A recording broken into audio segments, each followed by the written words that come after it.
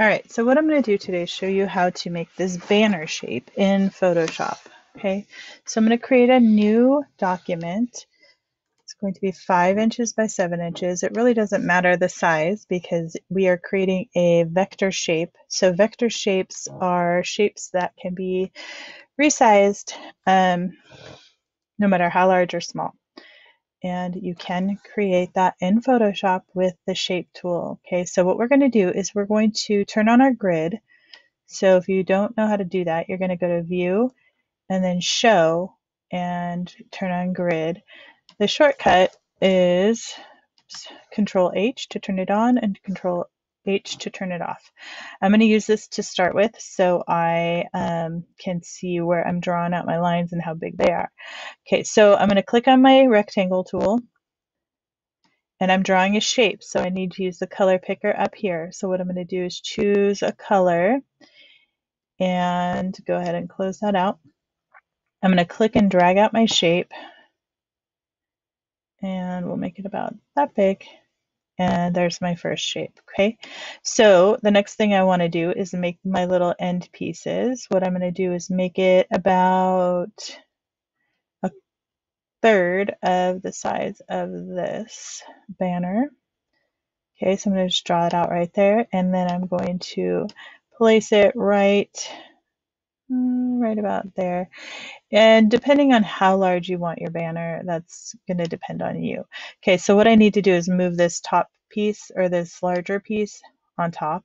So I'm going to drag that and I'm going to give it a layer style. So I'm going to add a stroke to it to kind of define it and separate it from that bottom piece. Let me turn off the grid so you can see what's going on.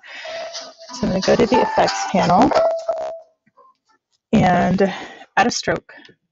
So I want my stroke color to be a little bit darker than my blue color I have here. So I'm going to click on the blue target and then hit OK. Now you can see I have a stroke. You want to make sure that it's set between 1 and 5 pixels and that the position is on the inside of the banner. Hit or the shape, hit OK. And there you go. So I'm going to copy this layer style. So I'll right click and hit copy layer style click on this one and right click and hit paste layer style and there's my new layer style. Now what I want to do is give it a little um, uh, concave in here or a little cutout. So what I'm going to do is use my pen tool. I need to add an anchor point onto the shape. Okay, so to do that, you are going to have to first make sure you're on the right layer. Click on your pen tool and there's a trick to this. I know there is. You got to get right on that line. So I want to put my little anchor point right here. So I'm going to zoom in and move it over so I can see it.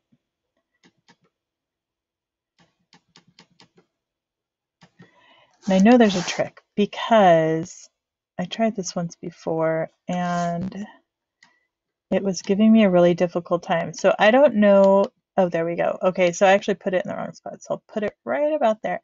Okay, so now what I want to do is drag this in just like that. And depending on how large you want your um, cutout to be. I'm going to adjust my anchor point now. So what I need to do is go to my back to my pen tool and go to convert point. Okay, make sure to do that and you don't stay on the add anchor point. And then I'm just going to kind of bring it up so that shape is in a V like that. All right, so there is that side. Now all I have to do is copy this shape and flip it and bring it over here. So I'm going to make a copy of this layer. So with it selected, I'll do Control J and it makes a copy. And I'm going to bring it over here. Oh, what happened? It made a copy of my cutout. Okay, so let me undo that. I'm sorry. Um, let's try that again. So um, Photoshop, I don't know, it's being a little wonky. I haven't had a lot of time to use Photoshop. Okay, so I just did Control C and then Control V.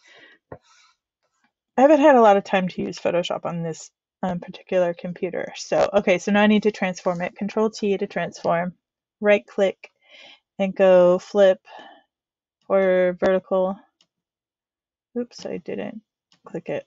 Oh, flip horizontal, sorry. All right, so to make sure that they're equal distance, I'm turn on my grid again and make sure that there are two lines in, two lines in. Yep, everything looks good. And so now what I need to do is add a little um, triangle right here to give it a little bit of depth. So I'm going to use my shape tool one more time and I'm just going to draw out a gray colored. I'll click right there and then I can change my color after I've drawn it out. Hit OK. Go to my move tool. Let's get this out of the way. All right, so now what I need to do is actually change this into a rectangle. So I'm going to go to my um, pen tool again and hit delete anchor point. And then I'll click right here on this corner. And it's going to ask if I want to turn it into a regular path. I will hit yes. Okay. And then I can copy this layer. So Control C, Control V.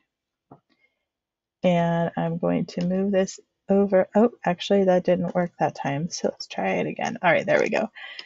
And now I can move it over and flip it. Control T, right click, flip horizontal, and make sure it's all lined up. And there you go. So there's my banner.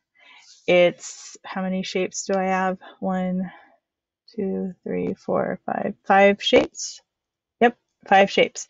Okay, so something that you can do now that it's all put together is um, give it an arc. So if I select all of them and put them in a group, I should be able to transform them using the transform tool. So, let, so what I'm going to do now is I'm actually going to rasterize these layers that I have selected my group and I'm going to right click and I'm going to go to merge layers now I can transform everything. So I'm going to hold Control T to transform, and then it'll bring up my warp tool. And let's see. So if I go to custom, I can click on arc, and now I can change my bend and my dimensions right here. So Photoshop has changed a little bit, and yours may be different. You still may have the slider. Um, so yours may be a little bit different than mine, but this is using the um, warp tool. I'm able to give it a little bit of a bend. So I have actually two groups here. So my first group is my unrasterized, um, unflattened layers in case I want to come back and do something with it for some reason. And this is my rasterized flattened layer. Okay, I noticed I probably should have put a stroke, a darker stroke on this gray right here to separate it a little bit more. That's something that you can do and maybe fit it in there a little bit perfect, a little bit more perfectly. Okay, so I hope this helped you learn how to create a banner.